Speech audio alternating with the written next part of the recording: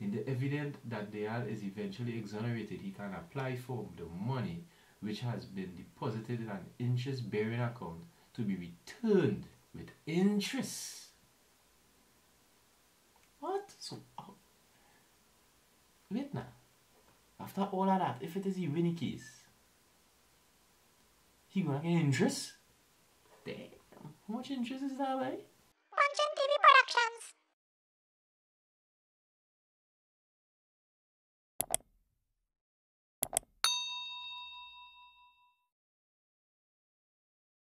It's your boy Mr. Puncheon TV back with you with another hot topic. Well, just hot topics, yeah. Hot topic in Trinidad and Tobago news right now. Pasta and money. Yeah, about two years ago, this pasta, you know, it was in the process, the, the country was in the process of changing their money, their bills, to new polymer bills. And you had to go into the central bank or even the you know normal banks and carry how much money you have of the old bills, the hundred dollar bills that is, and they will replace them with new bills. Now a lot of people line up in banks. It was crazy, but this pastor he went to change thirty million dollars in hundred dollar bills. Well, exactly 28 million. And of course, let me explain what actually happened here. So as you can see the heading here, over 20 witness statements filed against Pastor in 30 million dollar laundering case.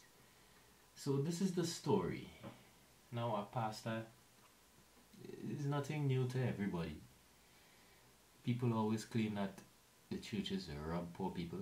They sell hope and dreams and faith to the people and they take their money. I mean, you can't blame people. You can't blame people. I mean, you can't blame people for feeling that way because a lot of pastors actually made that statement true. So, probably this is one of them. But let, let me read this story.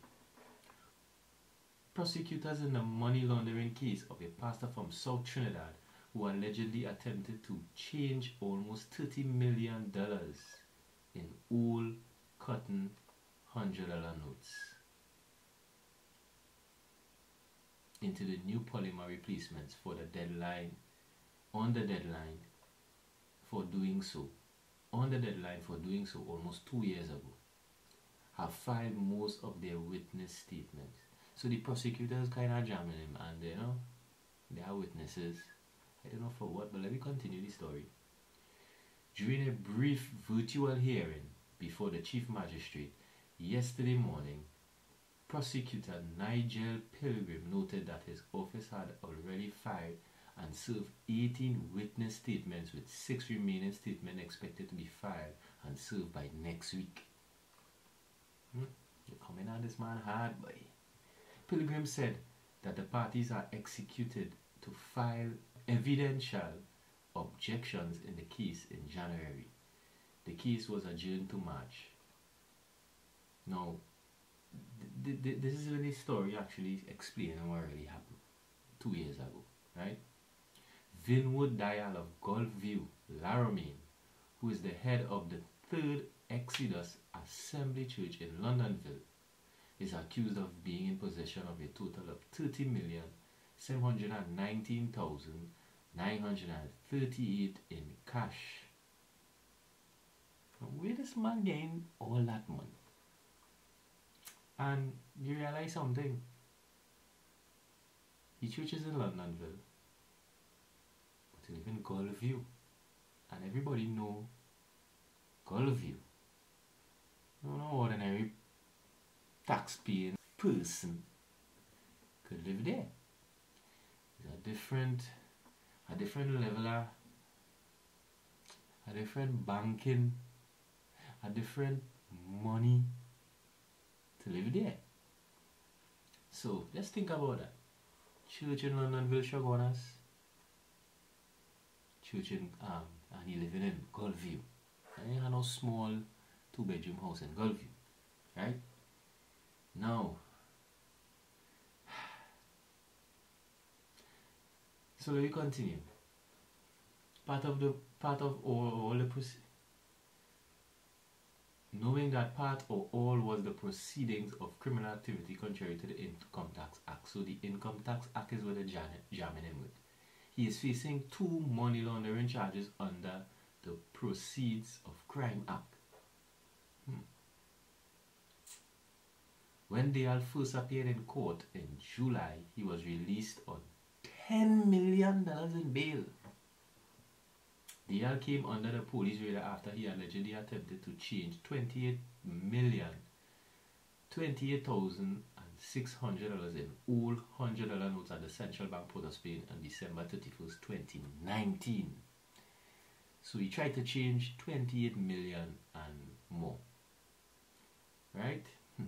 Officers of the Financial Investigation Unit, FIU, we call it FIU for short, then executed a search warrant at the church and allegedly found two million six hundred and ninety-one thousand three hundred and thirty-eight dollars in smaller denominations. So basically, he couldn't change that. So he had to leave it in.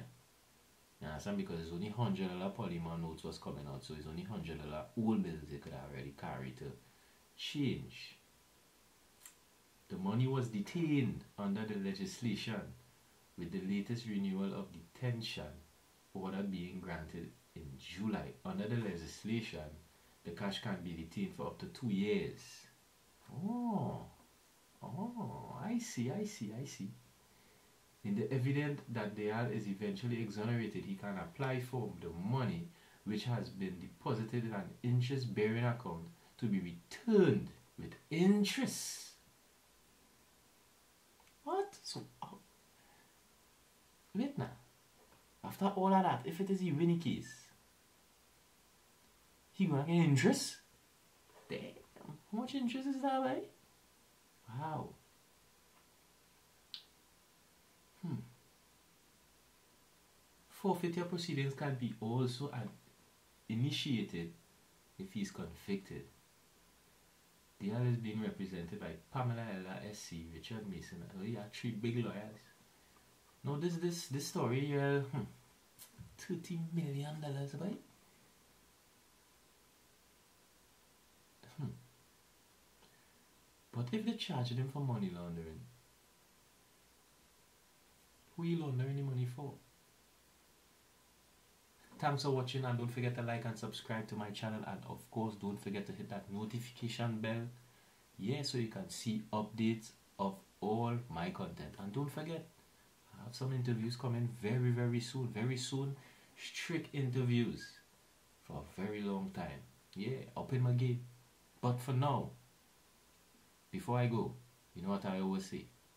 We want to love and we learn to hate. Peace.